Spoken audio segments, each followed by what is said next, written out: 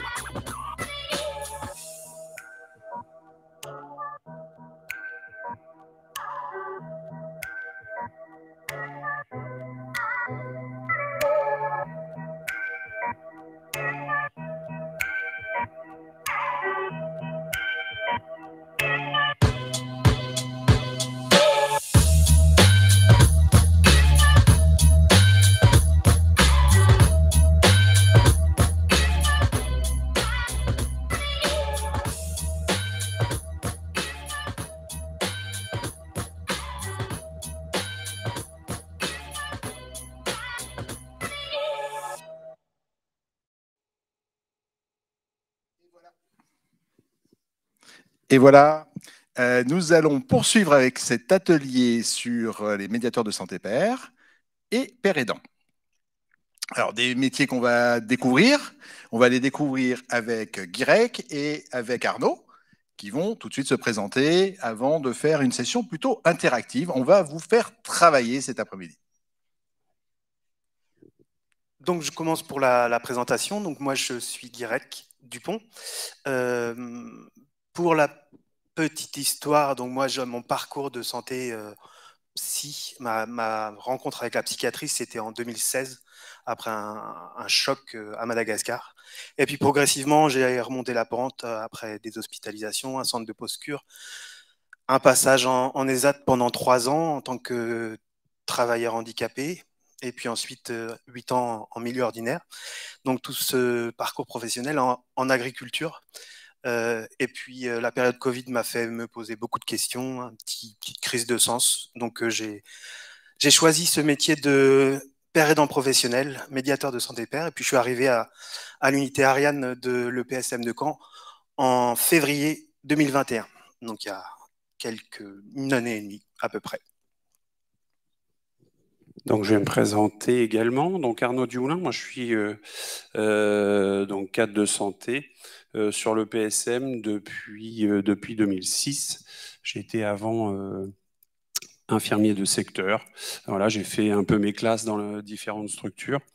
et puis, donc, en 2018, nous avons ouvert une unité, une unité Ariane sur donc, Caen qui propose des soins de réhabilitation psychosociale. Et donc, on a donc fait toute une aventure qu'on va un peu vous raconter là tout à l'heure euh, une aventure qui a fait que, en effet, euh, en, février 2021, euh, voilà, on a connu Guirec et puis qui était accompagné avec une autre collègue, puisque du coup, on a intégré deux MSP en même temps sur la structure, et ce, donc en février 2021. Juste, j'aimerais préciser, il y a du vocabulaire qui, des fois, peut ne pas tout, être, tout à fait être clair. MSP, c'est médiateur de santé pair, pour ceux qui n'auraient pas les codes. Ça. Tout à fait. Euh, surtout d'ailleurs, voilà, n'hésitez pas tout au long de notre euh, intervention à pouvoir, euh, alors que ce soit des sigles, parce que malheureusement c'est vrai qu'ils font partie de langage commun, ou même des questions, on peut, on peut y répondre à n'importe quel moment. Euh, donc, on commence. Euh, bah, bonjour à toutes et à tous, maintenant qu'on s'est euh, présenté. Donc, on souhaitait bah, remercier Normandie Réhab ainsi que le nouvel hôpital de la Navarre pour l'organisation de ce congrès. Nous souhaitons saluer aussi les visionneurs de, Positive Minders, puisqu'on a eu la surprise d'apprendre qu'on aurait la possibilité aussi d'évoluer en, visio. Donc on est ravi de pouvoir évoquer notre expérience d'accueil euh, et d'intégration de deux MSP sur Ariane. Euh, parce que pour nous, euh, c'est important de la présenter car cette expérience est encore euh, très rare en Normandie. elle est également récente, comme je vous disais tout à l'heure, puisque ça date de février 2021, même si nos collègues ont commencé déjà à se faire connaître puisqu'ils ont participé à la journée de psychiatrie normande en mars à Rouen et qu'ils ont pu être salués à cette occasion. Donc, euh, même si on ne pourra pas être complètement exhaustif sur, euh, le sujet de, la pérédance, de la pérédance professionnelle et de, du, statut spécifique de, euh, des MSP, notre but est de vous donner les plus d'éléments possibles sur, par rapport à pour que vous puissiez demain vous lancer dans une, dans une expérience similaire. C'est pourquoi nous vous proposons d'organiser euh, sur l'heure qui nous est donnée, euh, bah, de pouvoir alterner des temps de présentation et puis des questions qui vous seront euh, destinées. également de pouvoir vous proposer ponctuellement de participer de façon collective. On vous donnera des consignes euh, le premier temps de notre intervention euh, sera un éclairage particulier sur, sur le concept de pérédance et de pérédance professionnelle, justement, un peu pour égaliser les savoirs euh, des uns et des autres pour qu'on sache un peu tous de quoi on parle. Euh, donc on fera un peu les différences entre ces différents termes. Et puis à ce moment-là, on pourra justement euh, laisser quelques questions donc au public. ensuite, on, on évoquera notre expérience, quels ont été nos choix dans une chronologie, chronologie donc qui a commencé en mars mars 2020 pour une arrivée de nos collègues euh, donc en février 2021. Euh, Et puis, euh, c'est une thématique quand même qui aujourd'hui euh, n'est pas neutre. Euh, on entend beaucoup, euh, beaucoup de choses sur cette, cet avis-là. D'ailleurs, c'est marrant parce que on, on, discutait tout à l'heure dans le hall et d'un seul coup, comme ça, une conversation s'est établie par rapport aux, aux, médiateurs de santé père. Donc, on essaiera d'élargir notre réflexion justement aux questions institutionnelles que peuvent poser notamment la, la pérédance professionnelle. Et pour l'étayer, euh, nous nous appuierons donc sur deux articles qui focalisent sur ce sujet depuis, euh, depuis deux ans. Euh, le premier est, alors ces, articles sont, sont parus dans Pratique en santé mentale. Le premier est celui du docteur Clément Bonnet qui est, qui est paru donc en mars 2020 euh, le docteur Bonnet donc, est psychiatre et président de Santé Mentale France en Ile-de-France. Et le titre de son article était Professionnalisation, euh, professionnalisation de père virgule, euh, une impasse, point d'interrogation. Le, second article d'Olivia Gross, euh, qui détient une chaire donc, de recherche sur l'engagement des patients à l'Université Paris-Nord, et de Philippe Maugiron, un des premiers MSP qui est sorti de la promotion de 2012 et qui est aujourd'hui président et cofondateur de l'Association française des médiateurs de santé père. Euh, donc, Philippe Maugiron et Olivier Gross ont, eux, fait paraître un article en réponse, euh, donc en janvier 2022, tout récemment, qui s'intitule, lui, non, les MSP ne sont ni des mirages ni des poisons, pas plus que ne l'est la professionnalisation des patients en général. Donc vous voyez bien déjà la tension entre ces deux articles. Voilà, donc euh, je, vais passer la parole à mon collègue qui va justement donc reprendre et donc euh, évoquer les différents aspects de la pérédance et pérédance professionnelle. Donc voilà, pour reprendre cet historique un petit peu de la pérédance en général, euh, on connaît tous le mouvement des alcooliques anonymes hein, qui a débuté plutôt aux États-Unis dans les années 30. on peut parler aussi des patients VIH qui, euh, bah, en même temps que la découverte de ce virus, étaient euh, engagés dans le, processus euh, de leurs soins. C'était aussi une, un moment important justement dans la, les aspects de, de père et danse. Et on peut parler aussi euh, des mouvements de révolte aux États-Unis, euh, les survivors de la psychiatrie, euh, qui euh, justement aussi avaient cette volonté de, de dire OK, on, on, on, veut bien être soigné, mais on veut être acteur de nos soins. Et la phrase un petit peu phare dans ce, dans ce sujet, c'était rien sur nous sans nous quelques généralités sur la pérédance et les leviers sur lesquels elle, euh, elle s'appuie. Euh, essentiellement, la, la pérédance, qu'est-ce qui réunit finalement l'échange de pair à pair qui va s'instaurer? C'est euh, l'expérience rare, l'expérience rare commune. Et c'est cette expérience rare et la pérémulation qui va se, jouer derrière qui va faire qu'il va y avoir possibilité d'entraide. Alors, faut pas oublier que la pérédance, elle n'est pas que en santé mentale. Elle est aussi en santé euh, somatique, en santé physique, euh, dans d'autres euh, domaines, type d'ailleurs cancer, type diabète ou autres. Où s'exerce-t-elle cette pérédance Elle s'exerce partout les pères se rencontrent et, et partout ils peuvent s'entraider. Et en santé mentale particulièrement, la pérédance, finalement, ça va être aussi un échange entre pères qui ont vécu un parcours de rétablissement, qui ne sont pas forcément au même moment euh, de leur parcours de rétablissement et qui s'entraident et qui partagent par le savoir expérientiel de leur parcours de vie avec euh, le trouble euh, leur stratégie, leur, leur, leur savoir-y-faire euh, pour pouvoir avancer eux-mêmes chacun sur leur rétablissement. Et puis un, un levier important, c'est également l'espoir que peut encouragé, euh, qui peut être encouragé justement euh, lors de, de l'entraide entre pairs.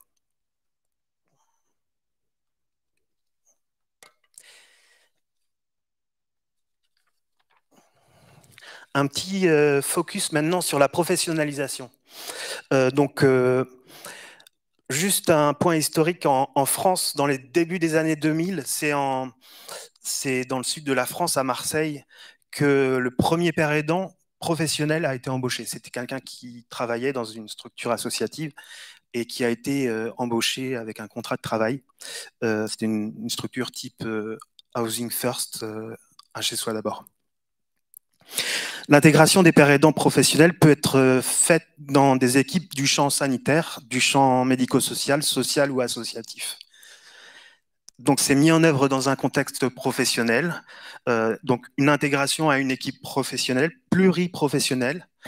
Donc, une complémentarité des savoirs entre les différentes professions qui composent l'équipe, sachant que le père aidant arrive avec son savoir expérientiel du trouble psychique, mais il arrive également avec tous ses savoirs antérieurs et avec ses compétences euh, de son parcours de vie précédent. Ça enrichit réellement l'offre d'accompagnement et de soins.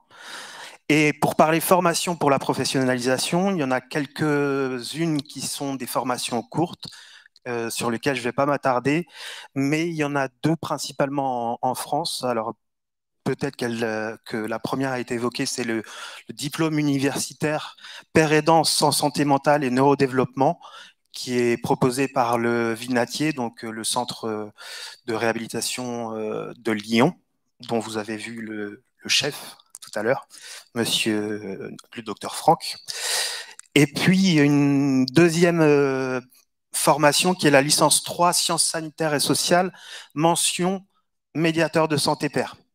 Euh, donc cette euh, formation précisément, on, s'attardera dessus puisque euh, avec ma collègue Chloé, euh, quand on est arrivé dans l'équipe, euh, de, de, Caen, c'est cette formation qu'on a euh, automatiquement euh, démarré à notre arrivée. Donc on arrive au terme de cette première partie, je dirais, où euh, donc les termes donc de père aidance et de père aidance professionnelle ont été euh, éclairés. Est-ce que de votre côté, vous avez quelques questions pour justement qu'on qu'on parte d'un socle commun. Bonjour. Euh, juste au niveau de la formation, du coup, comment on y rentre? Il faut un certificat médical Comment on, comment on sait qu'on est assez stable pour être père aidant, etc. C'est un peu flou pour moi. Alors, ouais, ju Justement, en fait, donc euh, c'est vraiment un métier, donc c'est une profession. Euh, la personne elle-même est en capacité de savoir si elle sera apte à tenir euh, ce métier et à engager cette formation. Donc voilà, c'est à savoir si moi, en tant que père aidant candidat, je me sens en capacité de faire ce métier et de suivre cette formation. Ce qui implique que aussi de la part des équipes et de la part des établissements, euh, on engage une personne euh, entre guillemets lambda. Donc euh, on n'exige pas un certificat médical comme quoi elle sera apte à tenir le poste. Je ne sais pas si j'ai répondu à la question. Oui, complètement, mais dans l'autre sens, une personne lambda pourrait avoir envie de faire la formation de père aidant. Une ouais, alors une personne lambda pourrait avoir, faire, pourrait avoir envie de faire la formation de père aidant.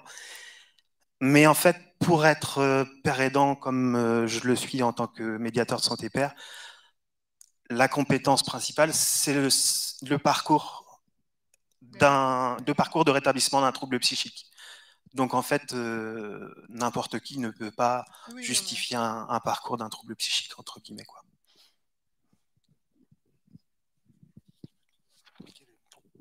moi, j'aurais une question parce que vous avez euh, lié artificiellement dans le, discours euh, la professionnalisation et la formation. Euh, dans l'entreprise, par exemple, il y a des gens qui sont très compétents et qui pourtant n'ont pas fait de formation. Donc, est-ce qu'on peut imaginer engager quand même des professionnels qui pour autant n'auraient pas fait de formation?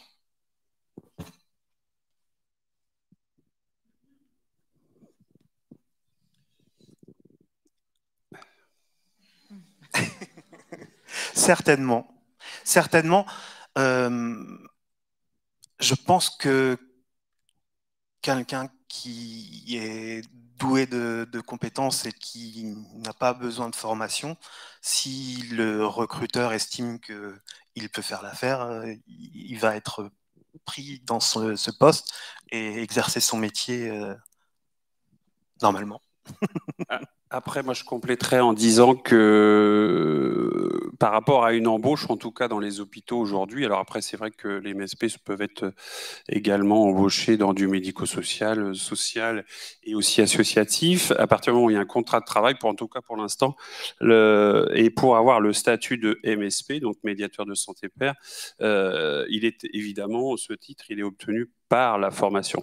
Après, c'est pour ça qu'on n'a pas voulu opposer euh, la pérédance et la pérédance professionnelle.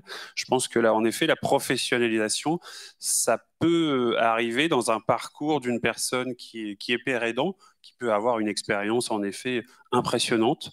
Euh, et à un moment, euh, soit il continue d'être d'être père aidant, soit au contraire, euh, il se dit tiens, je pense que j'ai envie de faire mon métier, et, donc à ce titre-là, euh, bah, l'idée c'est d'obtenir, alors en effet, soit le soit le DU qui est fait à Lyon, euh, soit donc le, le via le CCOMS de pouvoir être médiateur de santé père. Moi, je le vois comme ça. Après, c'est vrai qu'il y a des gens qui aujourd'hui, oui, pratiquent une pérédance depuis de nombreuses années et qui font un travail extraordinaire. Et en fait, moi, je le vois aussi à l'embauche, en fait, en tant que père aidant, donc le premier jour. Justement, la professionnalisation, elle a eu lieu à partir du premier jour. Parce que justement, la formation, mais ça, on vous l'expliquera un petit peu plus tard, elle a permis justement de m'apprendre à apprendre et à raisonner et à réfléchir. Et ça, c'est ça, en fait. C'est que j'étais en fait, MSP dès le début, hein, dès le premier jour mais la formation ensuite m'a permis de me professionnaliser pour monter aussi en compétences et en développement de ma, façon de voir les choses. Ouais. Oui. Alors Bastien, médiateur santé père, moi chez Soi d'abord euh, moi, je suis embauché MSP sans avoir la formation euh, actuellement, donc je vais la faire par la suite. Mais du coup, dans les 1 chez Soi d'abord en France, euh, il y a très peu de personnes qui sont formées, en fait.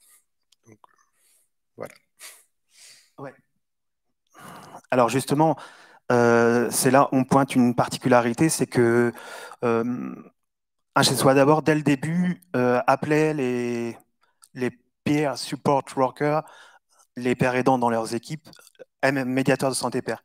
Et c'est vrai que là, alors vous avez, je crois, fait une, formation courte, professionnalisante quand même, et vous enchaînerez sur une formation plus longue euh, qui permet de nous apprendre à, continuer de, raisonner.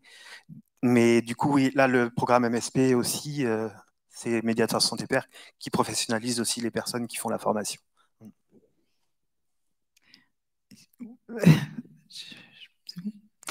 Euh, ici. Alors, on va, on va prendre juste une dernière question parce qu'après, il y, a du contenu. Je ne sais pas si... décidément. Je, Peut-être que j'anticipe sur la deuxième partie. En tout cas, merci pour votre témoignage. Je trouve, vous trouve très courageux. Moi, j'ai mis 20 ans à prendre la parole. Euh, je voulais vous poser une question sur la place justement du médiateur de santé quand il arrive dans une équipe. Comment vous avez été perçu dans les équipes de soins? Est-ce que vous intervenez dans les équipes euh, en intra-hospitalier? Et comment vous avez été perçu? Comment vous avez été accueilli? C'est vrai que c'est vrai que du coup on, le traite euh, évidemment pleinement dans la dans la deuxième partie. Après peut-être pas l'aspect euh, euh, accueil qui t'a été fait dans les dans les unités. On peut peut-être répondre un, peu. Enfin tu peux peut-être répondre un mot là-dessus. Ouais. Alors à, notre arrivée donc à moi et à ma collègue Chloé. Donc, on a été spécifiquement sur l'unité de réhabilitation au départ.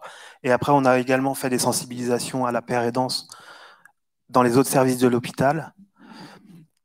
Alors moi, j'ai toujours été surpris du regard en fait euh, des collègues. Je, différencie équipe et des collègues des autres services parce que l'équipe, on, était réellement dans une collaboration euh, pluriprofessionnelle de l'équipe, quoi. Euh, donc l'équipe en fait nous a intégrés progressivement et, on a pris le temps et on en reparlera. Euh, et au niveau de, l'ensemble de l'hôpital et des, équipes des autres services, euh, toujours en fait un. Moi j'étais surpris à chaque fois de voir en fait une compréhension des autres collègues de dire ah mais ouais mais en fait c'est clairement logique de déjà par le parcours de rétablissement qu'on leur expliquait et par notre rôle euh, dans le travail, c'est clairement logique en fait que vous accompagnez les, usagers. Donc vous êtes euh, entre guillemets euh, complémentaires et à votre place quoi. Une courte question. Oui, une courte question d'internet, c'est est-ce que les pérédons sont spécialisés? C'est-à-dire est-ce qu'il y a des pérédons pour la dictologie, des pérédons pour les TDAH, pour différentes pathologies? Alors, effectivement, ça dépend, mais euh, moi aujourd'hui, en tant que père dans l'équipe, ça va être euh, toutes sortes de pathologies que je vais. Enfin, les usagers vont avoir toutes sortes de, troubles. Euh, donc, en fait, c'est pas parce que j'ai une pathologie que je dois accompagner dans le parcours de rétablissement tous les usagers qui ont la même pathologie que moi. En fait, j'accompagne sur le parcours de rétablissement et j'accompagne pas parce que la personne se rétablit d'un trouble identique au mien. Et après, effectivement, euh, peut-être que c'est plus judicieux que pour une personne avec des addictions, bah, il y ait euh, quelqu'un qui a déjà vécu l'addiction, pour quelqu'un qui a vécu la précarité avec des troubles psychiques, que voilà, c'est une réponse euh, normande. Normande, oui. Euh, donc, euh, on, reprend le, chemin, euh, puisque je vois que le temps passe. Donc, par rapport aux différentes formations professionnalisantes dont on a pu qu'on a pu vous présenter, nous, on a préféré suivre celle donc du CCOMS, donc qui a commencé donc en 2012. Et cela pour pour plusieurs raisons. La toute première, c'est le, lien qui est fait donc avec le, poste futur, euh, le soutien en fait que le CCOMS propose euh, donc euh, par rapport au projet en lui-même, le fait aussi que cette formation, justement, soit en alternance avec le temps de, travail de la personne au sein de la, structure. Et puis enfin, par rapport à certains un vécu dont on a pu entendre parler, des premières euh, euh, promotions où, euh, où, le contrat de travail n'était pas, pas, forcément exigé, eh bien des situations où entre l'employeur, le MSP, bah, c'était pas simple. Et aujourd'hui, il y a vraiment une exigence pour que ce contrat de travail soit signé dès le départ. Et c'est aussi pour ça que ça nous intéressait qu'il y ait du coup ce lien qui soit d'emblée euh, proposé entre l'équipe, le lieu, la formation et donc la personne formée.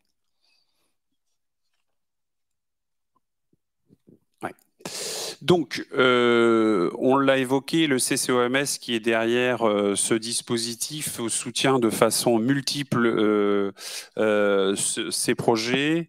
Un, des premiers appuis qui est très intéressant, c'est la co-construction d'un rétro-planning en fait par rapport à, c'est vrai, moi cadre, c'est vrai, mais en tout cas dans une, dans une vision très fonctionnelle, c'est-à-dire qu'à partir du moment où on veut, et on en parlera un peu tout à l'heure, mais on a des dates précises, notamment potentiellement d'intégrer euh, telle ou telle université pour faire cette licence, eh bien, euh, ça nous donne un peu de travail avant pour euh, travailler avec l'équipe. Donc, ce, ce rétro-planning est, très intéressant. Il permet de se, de se projeter par rapport à l'arrivée de ce nouveau collègue.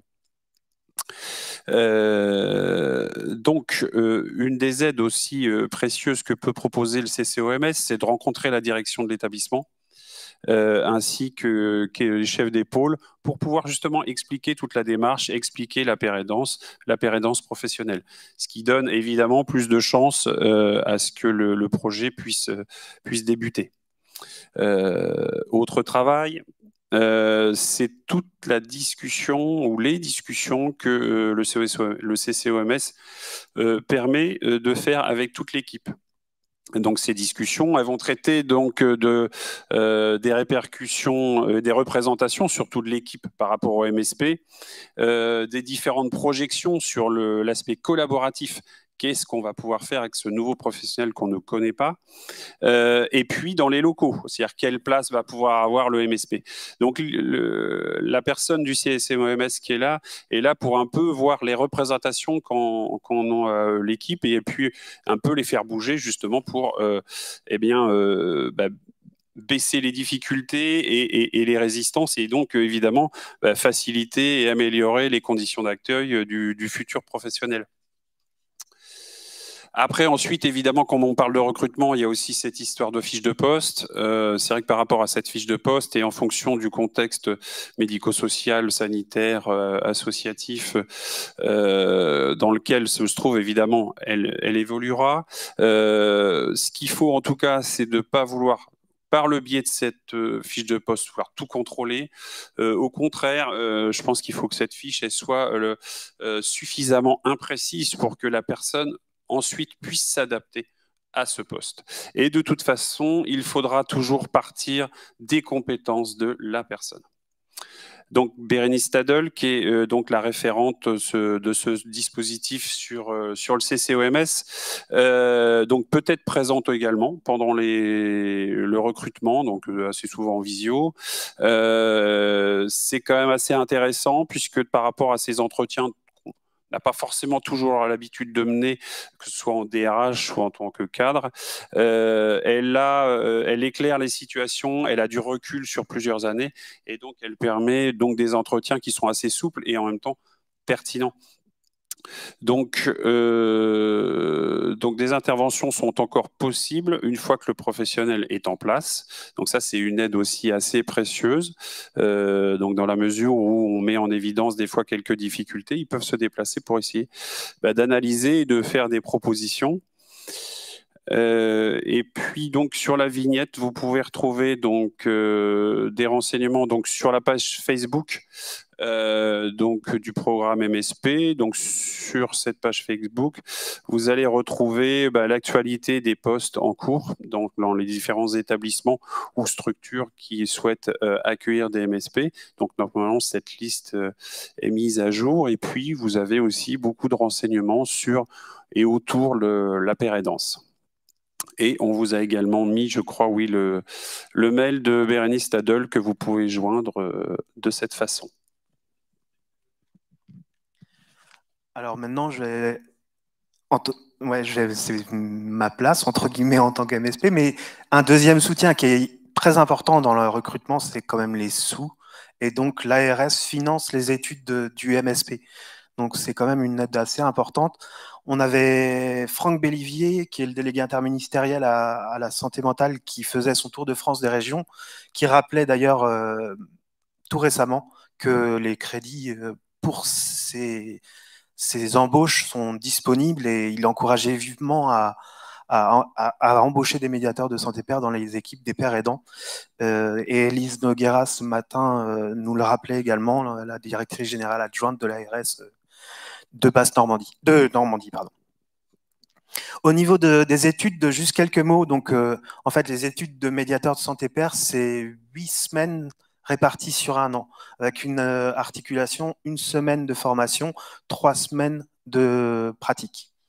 Euh, aujourd'hui, euh, jusqu'à aujourd'hui, c'était une formation qui était donnée à peu près une fois tous les ans, an et demi à Paris 13.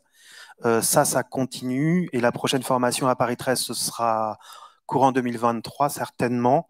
Euh, sachant qu'il y a une deuxième euh, licence dans une autre université qui s'ouvre, et la même licence 3 sciences sanitaires et sociales MSP, qui s'ouvre à Bordeaux avec 20 euh, à 30 étudiants en novembre 2022.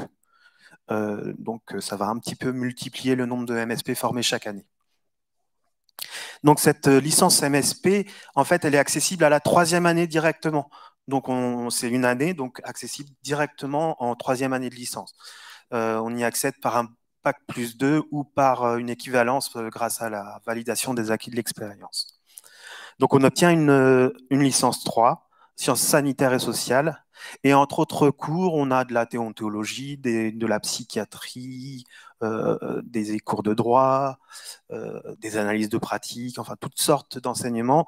Et c'est l'objectif de cette formation, c'est vraiment de nous donner les moyens euh, grâce à l'articulation études et travail sur l'établissement et sur la durée, de mieux appréhender les systèmes de santé mentale, les rouages de, la psychiatrie, pour aussi pouvoir savoir prendre du recul, analyser, comprendre les choses euh, et pouvoir accompagner le mieux possible les usagers sur leur parcours de rétablissement. C'est aussi euh, développer notre esprit critique, notre pensée complexe, et puis renforcer notre, notre ouverture d'esprit.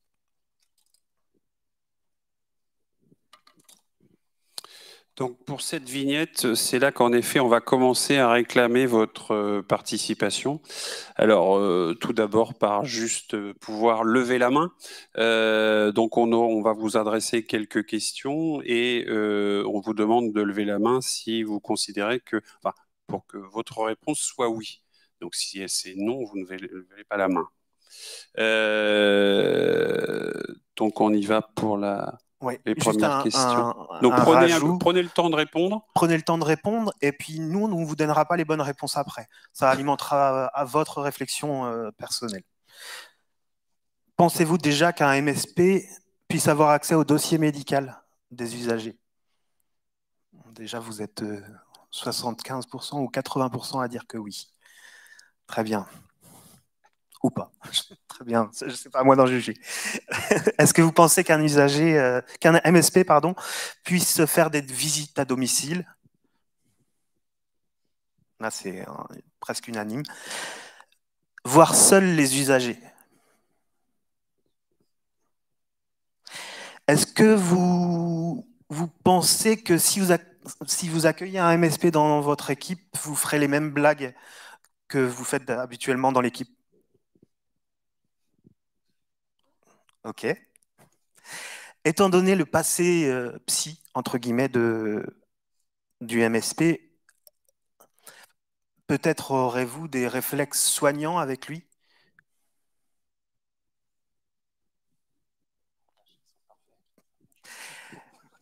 Est-ce que vous pensez que les MSP seront capables de comprendre les environnements complexes qui tournent autour du système de la psychiatrie? Là, on est à 70%. Je, vais, je dis des, pourcentages pour les, personnes qui ne voient pas la salle. Euh, vont-ils savoir se dévoiler justement, à la juste mesure? Quasiment tous euh, lèvent la main. Vont-ils tenir le rythme malgré d'éventuels troubles cognitifs? Très encourageant. Vont, en moyenne, par contre, ouais, ils vont peut-être être plus en arrêt maladie.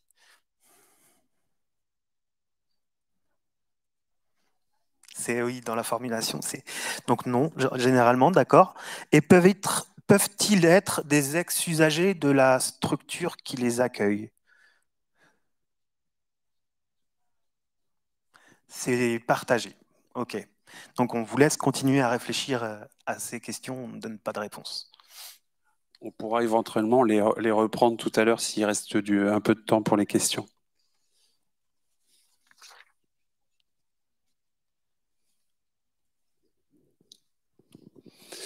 Donc là, c'est un autre exercice. En fait, euh, on essaye de, vous imaginer euh, là où vous êtes et à vouloir euh, monter un projet, un projet pour avoir un MSP dans votre équipe.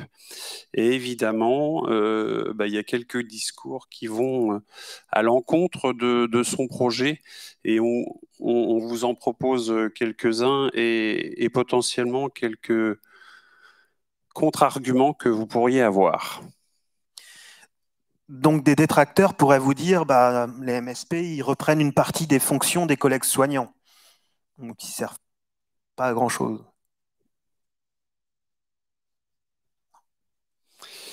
Alors, euh, nous ne voyons pas tout à fait les choses euh, comme ça, c'est-à-dire que euh, nous ne voyons pas les compétences spécifiques de chaque professionnel comme devant être utilisées de façon taylorisée. Euh, oui, le MSP va évidemment euh, pouvoir pratiquer des entretiens, proposer des médiations, faciliter l'accès aux droits, euh, mais s'il le faut voir surtout comme la potentialisation d'une équipe plurielle qui collabore, justement, une pluriprofessionnalité efficace.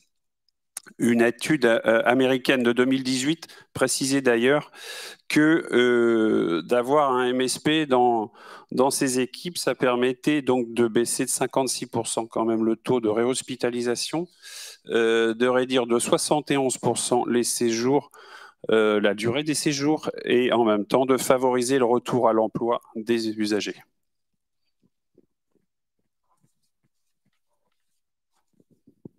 Donc, autre argument que l'on peut entendre.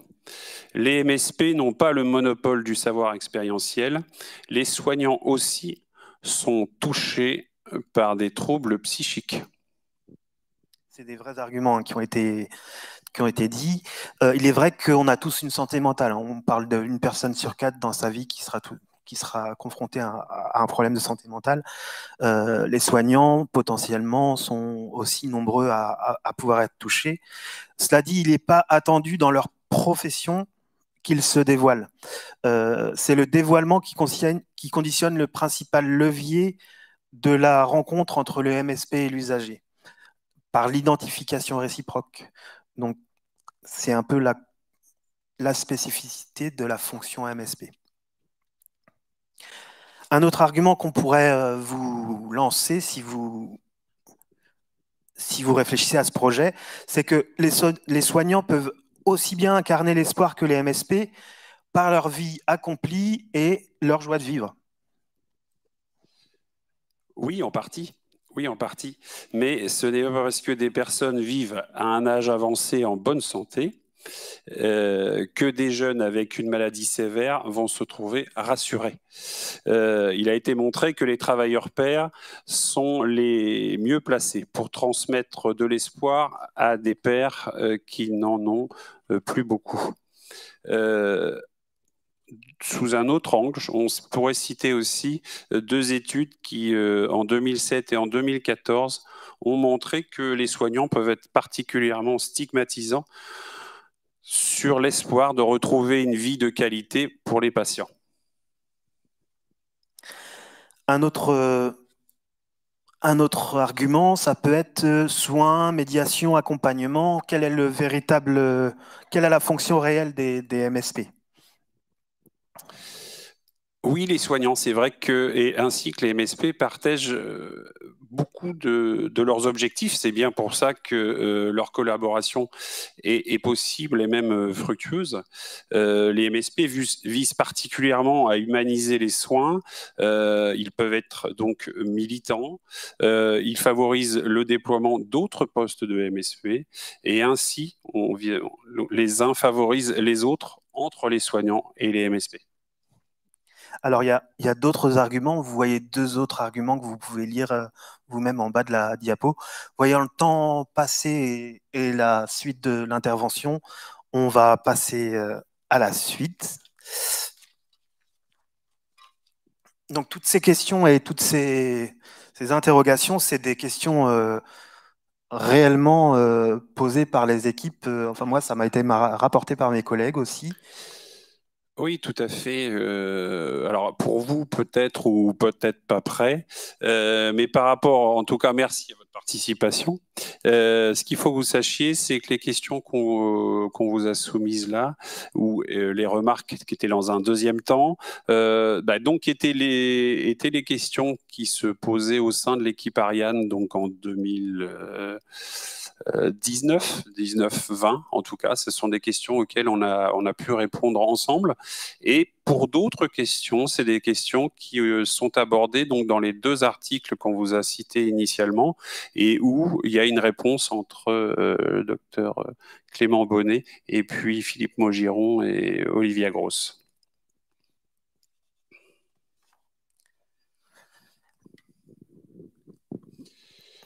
Donc, l'arrivée des MSP, puisque du coup, vous voyez que dans notre propos, les choses, euh, se précisent.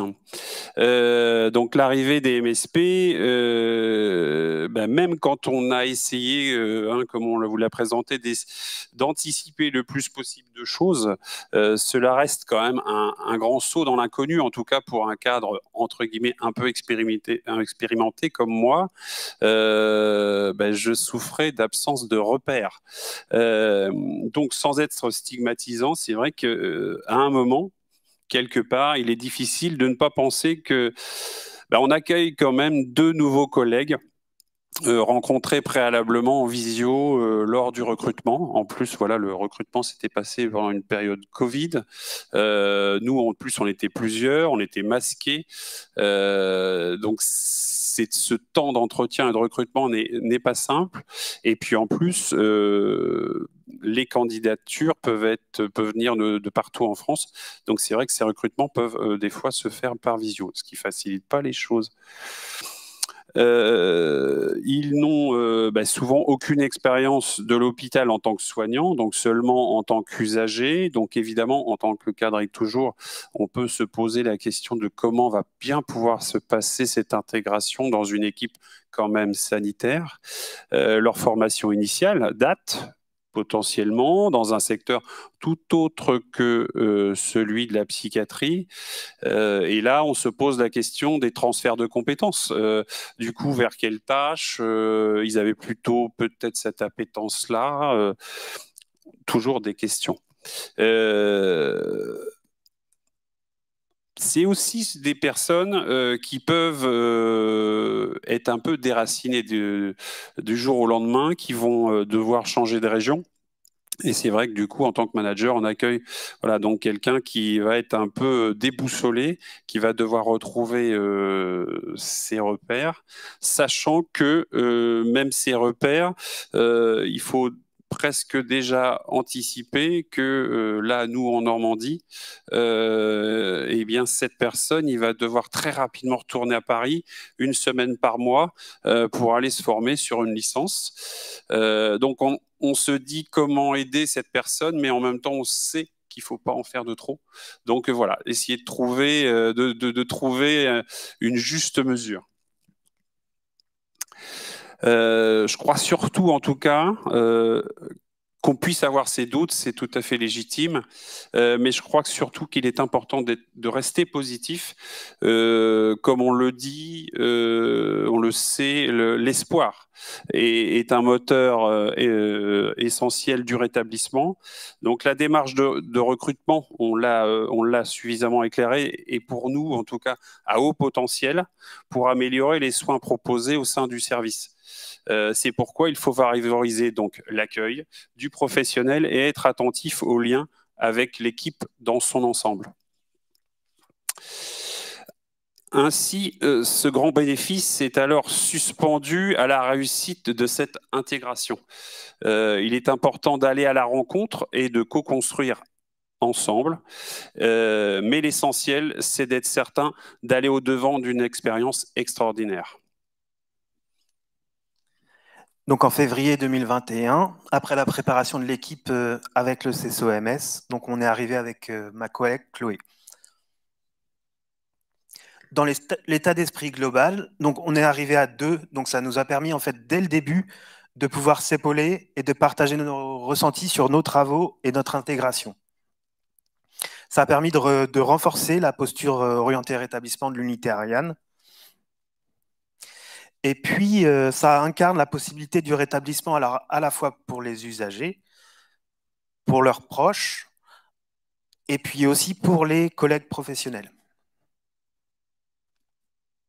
Et puis, ça véhicule l'espoir inconditionnel, l'espoir que tout usager ou personne touchée par un trouble peut aller vers son mieux-être, tendre vers son rétablissement, les usagers dans le soin et même à l'hôpital sont souvent rencontrés quand même dans l'étape justement du soin et parfois une étape de, moins bien. Et de, quand on ne les voit plus, finalement, c'est qu'on espère qu'ils vont mieux. Et c'est vrai que les soignants les voient généralement plus sur la période où ils vont moins bien. Et c'est rappeler aussi cet espoir du rétablissement et cet espoir qu'ils les voient à un instant T et que plus tard, éventuellement, ils seront euh, en meilleure santé et plus rétablis.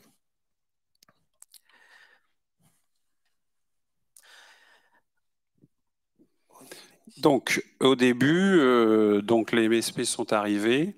Donc, évidemment, on s'est posé toutes ces questions. On est allé à la rencontre. Et puis, euh, bah, ce qu'on leur propose, euh, avec, donc, on avait dit, une fiche de poste euh, quand même relativement éclaircie, dans laquelle normalement tout le monde doit pouvoir se retrouver, et bah, c'est l'exploration finalement d'une multitude d'activités comme on peut avoir dans un service de réhabilitation, donc avec, bah, et pour l'un et pour l'autre, des ressentis un peu différents. Et au gré un peu de ces ressentis, et ben, on amplifie, on continue, on va plus loin. Et puis, bah, au bout d'un an, euh, on a ressenti euh, le besoin euh, conjointement, je crois qu'on est vraiment allés les uns vers les autres pour se dire, bon, là, il faut qu'on se répartisse pour y voir un peu plus clair. Et donc, c'est tous les deux qu'ils nous ont fait cette proposition de répartition des tâches. Donc, c'est une répartition des tâches en tant que référent de type de tâches sachant que pour certains postes, on, fait les... Comme si je vous prends pour Chloé, elle était référente des suivis individuels, ce qui n'implique pas que moi, j'en en fasse pas, mais c'est elle qui, est plus dans la supervision des suivis individuels, de l'organisation des suivis. Elle était aussi euh, dans elle est aussi dans le choix d'être plus dans aussi la représentation des MSP du point de vue du niveau des usagers et dans les actions de déstigmatisation et dans les actions de prévention. Et puis, elle est également référente euh, des, du groupe famille, euh, qui est un groupe ouvert pour les familles, et des, du groupe Bref, euh, enfin, ouais, voilà, la référente MSP du groupe Bref de psychoéducation pour les familles. De mon côté, moi, j'étais plus en représentation des MSP de niveau réseau des partenaires. Euh, également le réseau père local. On essaye de, garder le lien avec les pères aidants autour et de créer un lien aussi à un réseau et ça viendra aussi avec les nouveaux MSP de la, région, d'un réseau de pères aidants plutôt au niveau normand, puisque la collectivisation et l'intervision entre MSP est très importante pour entretenir les savoirs expérientiels. Et puis, j'étais aussi référent plutôt sur les formations extérieures pour amener ma patte de MSP dans ces formations. Et puis, la communication d'Ariane puisqu'on on a notamment une newsletter sur le, sur les, le rétablissement et les pratiques orientées rétablissement qu'on fait paraître tous les deux mois. Donc euh, voilà.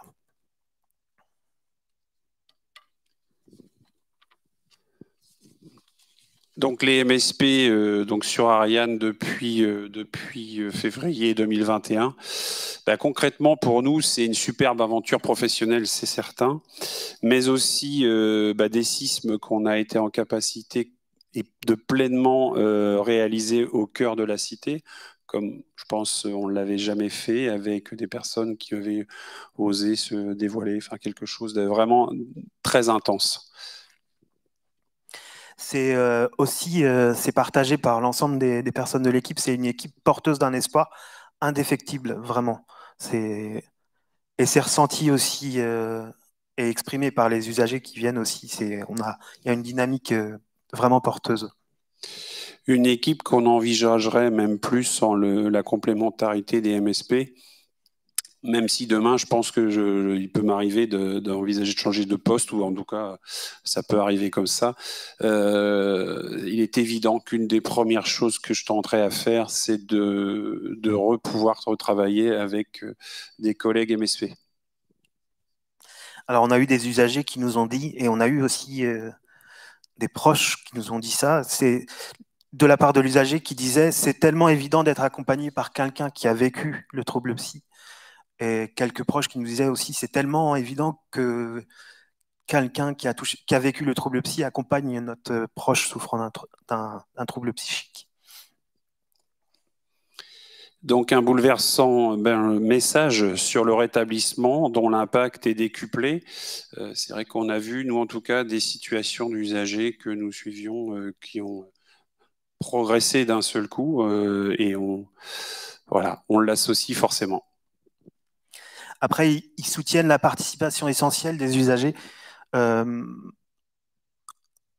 on insiste aussi euh, toujours pour qu'il y ait des témoignages de pères aidants dans les programmes euh, de psychoéducation ou d'éducation thérapeutique du patient, que ce soit des, pères aidants ou des usagers qui ont eu un parcours. et puis la participation aussi, on est en train d'essayer de pouvoir créer une sorte de CVS de conseil de la vie euh, sociale pour euh, justement aussi encourager les usagers d'Ariane euh, à s'impliquer dans les fonctionnements de l'unité. Et puis, pour moi, toujours des MSP dans une équipe, c'est des clés en plus, en fait, surtout pour nous, donc potentiellement infirmiers, psy, donc, avait donc avons toujours notre trousseau de clés. Eh bien, en fait, ce sont des collègues, ils ont des clés en plus qu'on n'a pas et il nous ouvre euh, beaucoup de portes. Et puis c'est une expérience qui fait déjà des petits, donc euh, on s'en félicite. Pardon.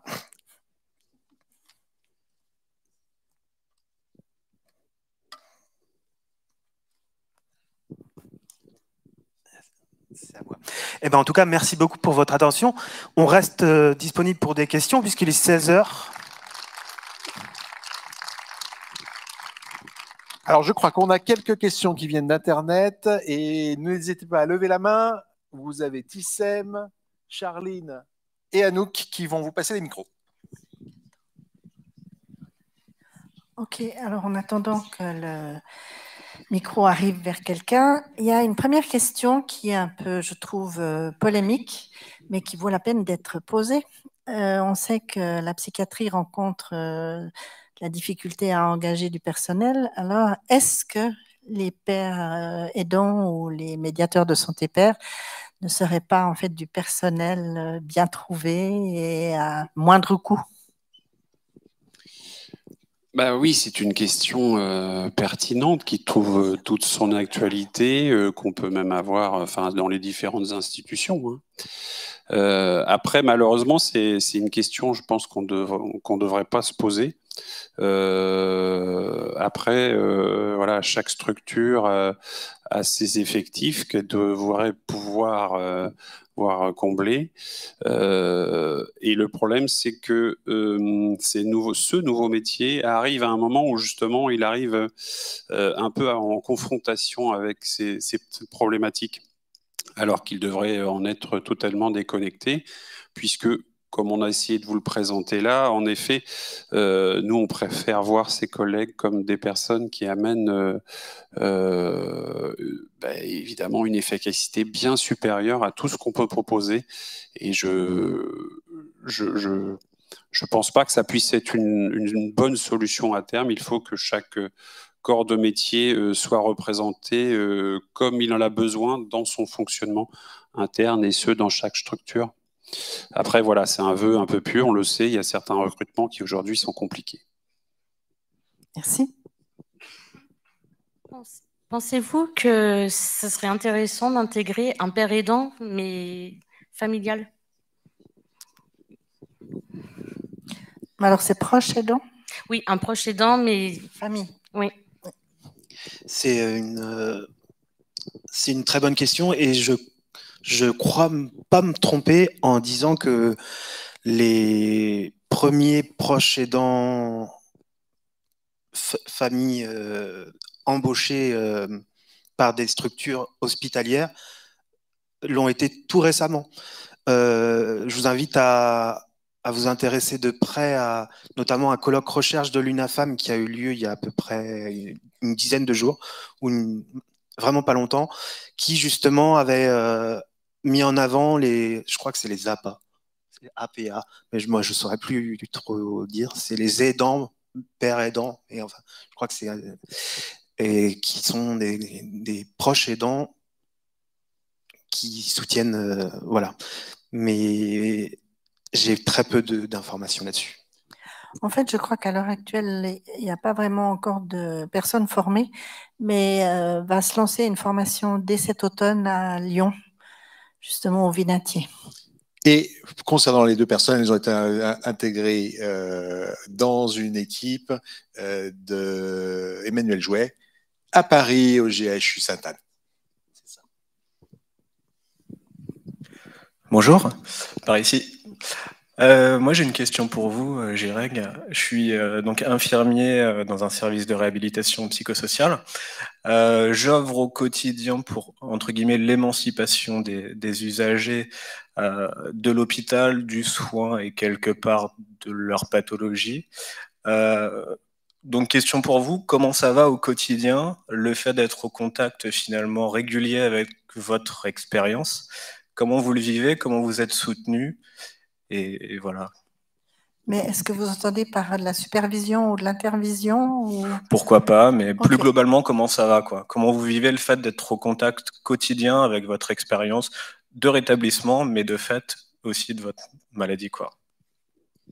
Ouais, il y a, y a effectivement quand on a le parcours de rétablissement derrière et qu'on accompagne des, des, personnes qui, ont, qui peuvent être en forte souffrance euh, psychique, bah, du coup, c'est quelquefois une forte euh, charge mentale. Et puis on essaye de faire notre métier aussi avec empathie. empathie, ça veut dire aussi ne pas absorber aussi euh, les soucis des autres. J'avoue que euh, au départ, c'était plus compliqué. Ça reste compliqué. C'est aussi à faire attention à soi, de bien se connaître aussi avec son trouble, c'est savoir euh, poser ses limites, c'est savoir aussi se reposer, prendre de la distance, c'est savoir aussi euh, quelquefois euh, au niveau du, rythme ne pas ne pas faire cinq entretiens individuels dans une semaine complète parce que bah, ça peut être fatigant et difficile aussi. Donc en fait c'est ça, on, se connaît aussi, on apprend à, à gérer ses limites. Et, et ben moi, comment ça va? Bah, Ça va bien, du coup. ça va bien et, c'est passionnant, vraiment. Mm. Et ça se gère. Ça marche, merci. J'aurais envie de, compléter la, question parce que euh, on, se, on, te pose la question. Mais si on posait la question à tes collègues, en fait, est-ce que euh, eux-mêmes, le fait de rentrer dans le service Ariane quand ils arrivent, euh, ils ne sont pas confrontés à où est-ce qu'on met les limites, comment je me protège, est-ce que j'ai besoin d'intervision et tout ça. Est-ce que tu es, serais euh, un collègue comme les autres? Je pense qu'ils auraient peut-être fait la même réponse en fait. Oui, tout à fait. En fait, c'est vrai que, enfin, de, assez rapidement, en tout cas, je pense que que ce soit Guirec ou Chloé, ils l'ont ressenti. On les intégrait euh, comme des, euh, des partenaires, euh, des partenaires de soins. on l'a évoqué d'ailleurs dans une question à un moment. C'était euh, de, de, l'attention qu'on devait porter justement à ne, à ne pas prendre notre rôle de soignant par rapport à certaines choses qu'on pourrait observer, euh, comme tout à chacun d'ailleurs dans l'équipe, et de, bah, de rester assez neutre. Après, c'est vrai qu'il y a une grande proximité dans l'équipe, euh, s'auto-régule les uns les autres. Après, je pense qu'il y a aussi, euh, pour toi, Guirec, la, chance d'avoir pu arriver avec euh, une autre collègue MSP. C'est vrai que c'est, presque un binôme dans, l'équipe euh, qui, a fonctionné automatiquement, très rapidement et de façon très efficace. Et vous nous avez surpris de jour en jour et de jour en jour ensuite. Alors, il ne reste plus que deux minutes. On va prendre une question rapide d'Olivier et une question encore d'Internet. Pas, ça marche. Euh, qu'est-ce que ce serait le après euh, médiateur en santé père? Si on restait dans cette filière, pas euh, qu'est-ce que vous vous aimeriez faire, mais qu'est-ce qu'on, quel devrait être le prochain métier du médiateur santé père? Vous voulez dire l'évolution, l'évolution professionnelle d'un médiateur de santé père Ouais. Bah, médiateur santé père, je pense que c'est comme les autres professions dans le secteur, euh, pour moi en tout cas dans le secteur de la santé, c'est que il a accès à la formation continue, potentiellement des DU. Il peut se former, monter en compétences. Et je pense que cet euh, ADN de MSP va lui faire garder une, spécificité, une qualité particulière qui pourra toujours euh, potentialiser dans l'évolution de son métier euh, dans les années qui suivent. Euh. Donc, en fait, c'est, je, ne projette pas à 5 ans ou à 10 ans, mais je me dis en tout cas aujourd'hui, d'ailleurs, on va avoir le diplôme dans quelques semaines, je me dis, euh, parce que ça fait que un an et demi, mais du coup, je me dis, c'est, ça va être riche, ça va être riche, mm, clairement, ces années futures. Pour être un petit peu euh, taquin, je dirais cadre de santé père. Oui. Euh, moi, j'aurais dit directeur d'hôpital. Mais oui, moi, j'aurais dit dans le conseil d'administration de l'hôpital. Oui. Mhm. Effectivement. Alors, une dernière question d'Internet. Euh, est-ce que l'unité Ariane existait avant votre arrivée ou est-ce qu'elle a été euh, créée dans le but de vous intégrer? Et est-ce que vous travaillez toujours en binôme? Donc la question est double. J'ai pas compris la dernière partie de la question par contre. Oui, est-ce que vous travaillez toujours en binôme? Ah oui, de façon générale. Alors, euh, on le disait tout à l'heure, oui, Ariane a été créée donc en 2018 et en fait, euh, la réflexion qui a mené à l'embauche de Guirec et Chloé euh, a commencé en 2019. Voilà, donc euh, c'est, je dirais que quand on a ouvert Ariane, notre premier objectif a été de de construire euh, un centre de réhabilitation de proximité. Mais à partir du moment où on a intégré la logique du rétablissement, euh, et c'est vrai que ça a dû concorder, je crois, avec un DU euh, santé mentale dans la communauté, où là, j'ai rencontré l'organisation du CCOMS. Et là, évidemment, ça a fait bingo et on s'est dit, mais comment nous, équipe de soins, qui faisons la promotion du rétablissement, n'avons pas de MSP C'est presque un, contresens, ou en tout cas, il nous manque quelque chose. Voilà. Et donc, on a voulu euh, y pallier. Et puis, euh, bah, pour des, situations particulières de l'établissement, on a eu la chance de pouvoir en recruter euh, deux. Voilà. Après, sinon, non, tout à fait. Enfin, nos collègues, vous travaillez indépendamment sur quelques missions, et donc ils sont absolument jamais deux systématiquement, quoi. Non, ils s'autosuffisent à eux-mêmes. Bon, je crois qu'on va devoir continuer cette euh, discussion sur une autre forme, parce qu'on a plein de questions encore sur Internet à vous poser, mais que malheureusement, on a déjà dépassé la limite de temps. Euh, je voulais vous remercier infiniment pour euh, cette présentation. Et merci au public et aux internautes qui ont joué le jeu. Et juste un point, c'est si vous avez besoin de soutien également, on vous a parlé de Bernie Stadel du CCOMS, si ponctuellement vous avez besoin de soutien dans la réflexion ou de reprendre contact avec nous, n'hésitez pas, on est disponible pour vous aider dans vos projets aussi euh, d'intégrer des médiateurs. C'est aussi le cas de Philippe et de plein d'autres euh, médiateurs de santé père qui, euh, qui ont l'expérience. à tout de suite pour la suite et la conclusion de ce congrès.